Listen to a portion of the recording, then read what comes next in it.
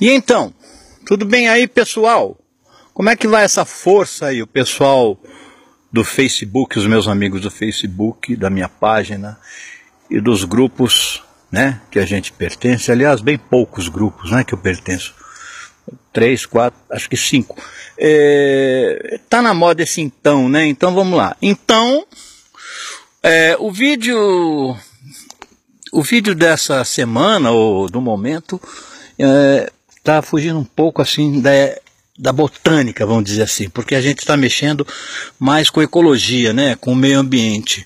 E eu estou mostrando aqui para vocês paradão essa planta aqui bonitinha, né, de folhinha branca, que é o cingônio, né, o Cingonium podophyllum, uma planta ornamental que ela veio da Venezuela, se não me engano, é uma arácea, né, uma arácea é, é, uma arácea de comportamento epífita, né? Hemiepífita, porque parte dela está numa árvore e parte dela fica na sombra. Ah, e nós vamos falar justamente sobre plantas invasoras, porque vocês estão aqui, é o assunto, é esse o assunto do vídeo. Plantas invasoras é um assunto que escapa, né? Ninguém percebe o que está acontecendo em volta e as plantas invadindo lentamente, lentamente, lentamente, tomando conta de tudo, de todas as outras. O que é uma planta invasora? Vamos lá ver. Essa rocha aqui que está aqui dentro da pousada, era uma rocha belíssima, toda atapetada com essa planta, essa gesneriácea, né? Eu acho que é a Epícia cupreata, belíssima, né? De folhas prateadas e flores de um lindo, né? Um vermelho intenso, vermelho bispo. É, ela foi totalmente tomada pelo Singonium. Dá uma espiada. Em seis meses, o Singônio tomou conta de tudo. Onde é que está a planta tapete aqui?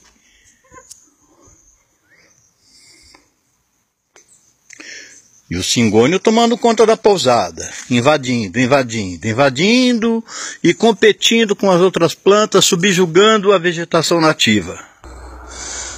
Aqui mais um pouco de focos, né? Vamos chamar de focos de Singônio tomando conta lentamente, é, indo em direção ao interior da mata, porque ele não recua como as outras plantas invasoras. O cingônio é uma planta é, heterófila, né? É, que tem as folhas diferentes conforme a necessidade de luz. Na fase jovem é de um jeito e na fase adulta de outro jeito. Inclusive é, ele foi modelo, né? Quem se lembra daquele vídeo sobre esse assunto de heterofilia, eu peguei, um, eu peguei o cingônio como exemplo. Mas nós vamos repetir aqui. Basta a gente seguir aqui e a gente vai vendo a mudança de fase à medida que a planta vai alcançando a luz. Né? É a mesma planta, não? Começa de uma corzinha, com folhas cordiformes, mais tarde ela passa a ficar com folhas múltiplas até aproximadamente a fase adulta, que está quase na fase adulta. Vocês podem ver com as folhas já multiplicadas, né?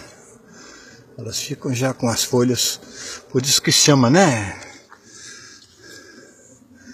É, ela é, é multiplicada em quatro ou seis, seis partes já mais um pouco ela floresce. Mais focos, mais focos. Bem, o que é uma planta invasora, hein? Uma planta invasora é uma planta que veio de fora e se dá muito bem fora do meio ambiente original. Por exemplo, essa planta veio aqui da Venezuela e não tem mais concorrente porque ela se deu muito bem. É o contrário das pessoas, né? Porque normalmente uma pessoa que sai para o exterior para morar, às vezes tem dificuldade de se adaptar, volta, né? Para o país de origem, etc. Mas não. Uma, uma planta invasora, ela se dá muito bem. Por isso que já é uma planta invasora. Ela é folgada, ela não respeita a vegetação nativa e ela toma conta de todo o espaço, muitas vezes sufocando a vegetação original. E nós temos inúmeros casos que depois a gente vai mostrar. É o caso da braquiária, da leucena leucocéfala, e que essa não tem por aqui, não vou poder mostrar, mas cito o nome, né? E também como invasor a gente não pode esquecer dos animais, não? Que são muitos, não? Como o caramujo africano. Quem lembra da praga do caramujo africano? Uma planta invasora, num tom assim meio que de brincadeira, é como se fosse um ET.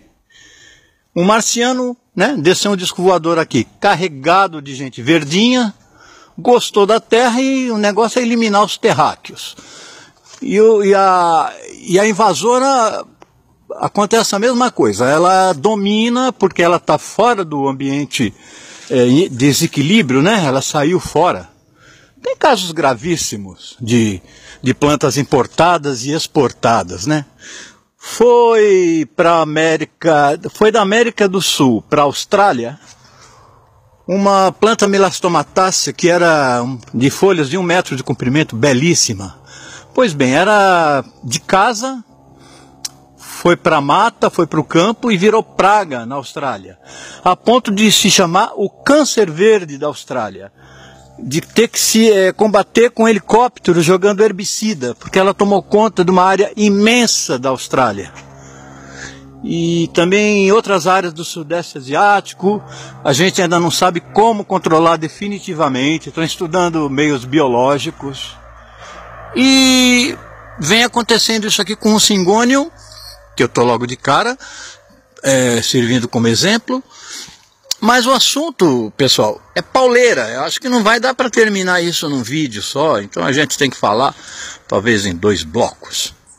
Uma coisa que tem que ficar bem clara logo de cara é uma planta invasora de uma planta de ambiente perturbado, como é o caso da criciúma, que ela se comporta aparentemente como uma invasora e não deixa de ser uma invasora, subindo e sufocando toda a vegetação arbórea. Essa massa vegetal toda que vocês estão vendo é a criciúma, é uma gramínea, um cipó, é um bambu. É uma espécie de um bambu. Um bambu muito, muito agressivo, mas ela é cíclica.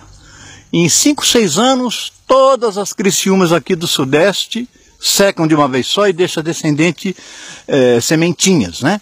Aí os roedores, etc. e tal, controla a população. Mas em área perturbada, área antrópica, né? É, o que é uma área antrópica? A área antropizada é aquela que o homem interferiu, quase sempre, lógico, de uma maneira negativa. Então ele faz a supressão da mata e as poucas plantas que conseguem depois crescer, a Criciúma acha um, um lugar perfeito e invade. A Criciúma, vocês podem ver aqui, ela tem aqui o broto da Criciúma. Ó, ela agarra. Tem milhares de anzóizinhos microscópicos. Isso fere que eu tenho marca até hoje. É uma lixa. Pega a derme, a epiderme e a derme. Deixa a marca mesmo, marca feinha, hein? Isso aqui serve a cada galinho, ela se ampara e sobe. Tá vendo? Ela, você consegue descer a mão, né? Mas subir é impossível. Bem, então, invasora é uma planta que vem de fora, é, entra em desequilíbrio, vence sempre é, por concorrência a vegetação nativa não tem controle natural, né? A invasora não tem, muitas vezes não é comestível. E, e as plantas perturba é, que sofrem perturbação são plantas invasoras, mas são temporárias. Olha lá a quantidade sufocante de criciúma que a gente vê aqui, né? Olha aqui, essa é a criciúma. É um bambuzinho, uma taquara é, decumbente, né? Ela, ela sobe através da, dessas bainhas é, fibrosas, né, com anzóizinhos. É, bem, isso já é uma pequena amostra do que seria uma planta invasora. Mas agora eu tenho mais coisa para mostrar e eu vou deixar para o próximo bloco. Porque eu tenho que sair de casa e pegar a rodovia. Está acontecendo um negócio feio lá com as plantas invasoras, viu?